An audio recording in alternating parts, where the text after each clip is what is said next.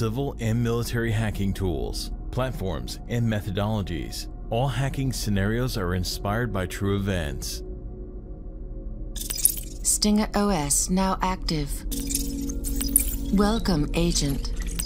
Let me ask you a question, Agent. How do you feel about a little game of cat and mouse? Because it looks like we may have found our match. Take a look at this. Reports are coming in of a massive cyber attack that targeted thousands of computers and cell phones across the globe. Hundreds of files have been corrupted or stolen from their owner. The cause of this attack is still unknown as no potential hacking group have claimed responsibility for this chaos. Cybersecurity experts are currently working on the case.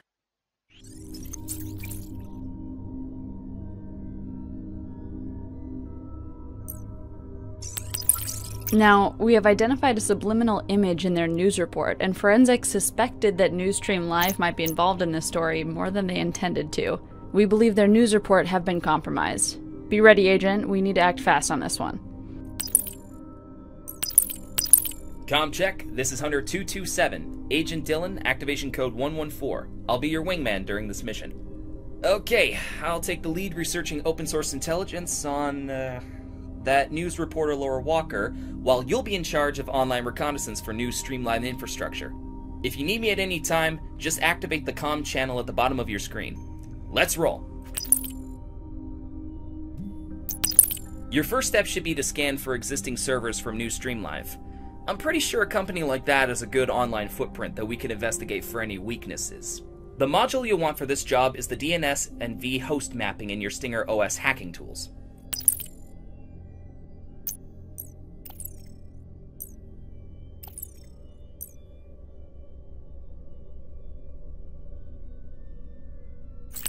Information gathering module initiated.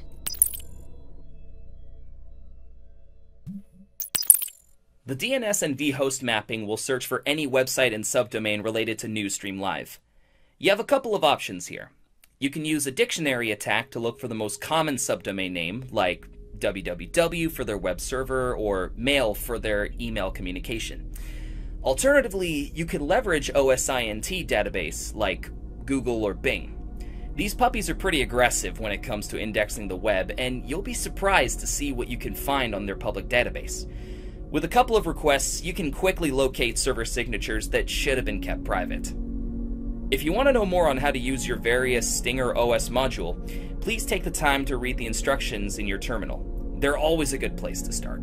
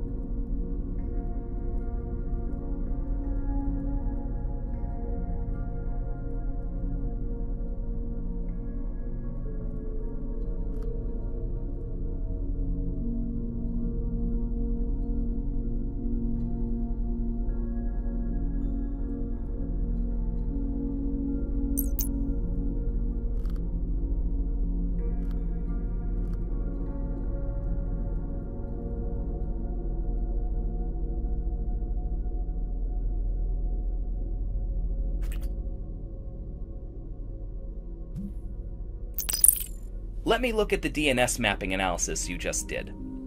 Okay. See the extranet subdomain? extranet.newsstreamlive.ca? This is usually set up to exchange company information with outside suppliers. It can also be used to provide employees with resources when they're outside the company. Because they act as a bridge between the internal and the external network, if unprotected, they can be easy prey for us. Run a diagnostic on their extranet and see if any vulnerabilities come up. To help you with this, take a look at your host fingerprint module.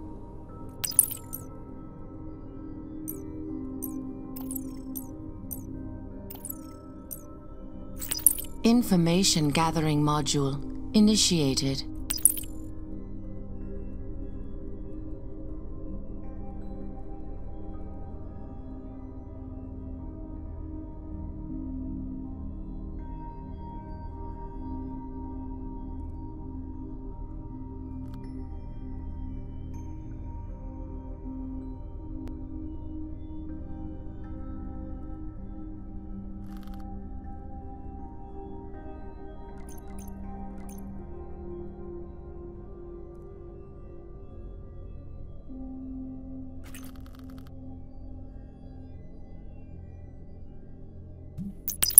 Their extranet technologies do indeed have a known vulnerability we can exploit. It's time to move on the target. I'm uploading After Midnight to your console. This is a small footprint, kernel space persistent rootkit that will provide backdoor access to their network.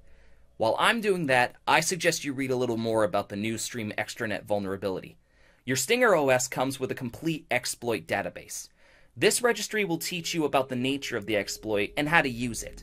Go to the exploit database and use the information you found during the host fingerprint phase to get more intel on the nature of their vulnerability.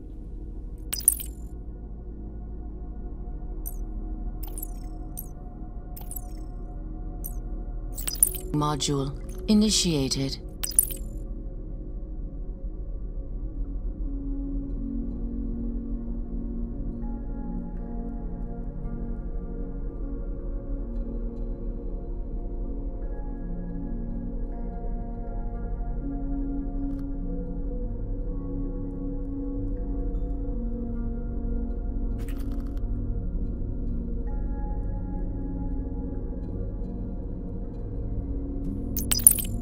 That's the vulnerability we're looking for.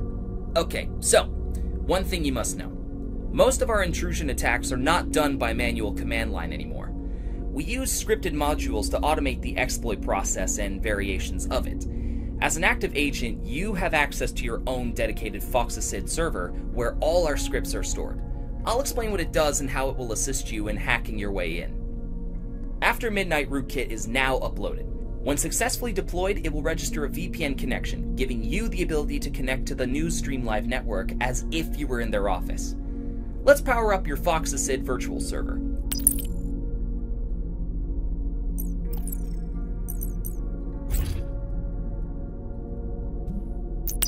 Let me give you a quick overview of the Foxacid server. To launch an attack, you will need to set up three important variables. The first one is the delivery mechanism, or how we want our script to execute the attack. The second one is the known CVE exploit you want to use.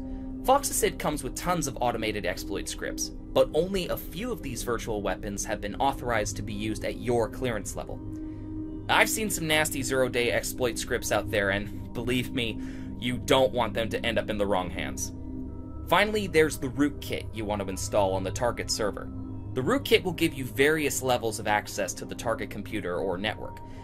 They have different benefits and drawbacks, but right now I've only uploaded after midnight. This is what we need to gain you network level access. Go ahead, select your attack strategy based on what you learned during your exploit investigation. If you're not sure, go back to your exploit database and look for the technology vulnerability.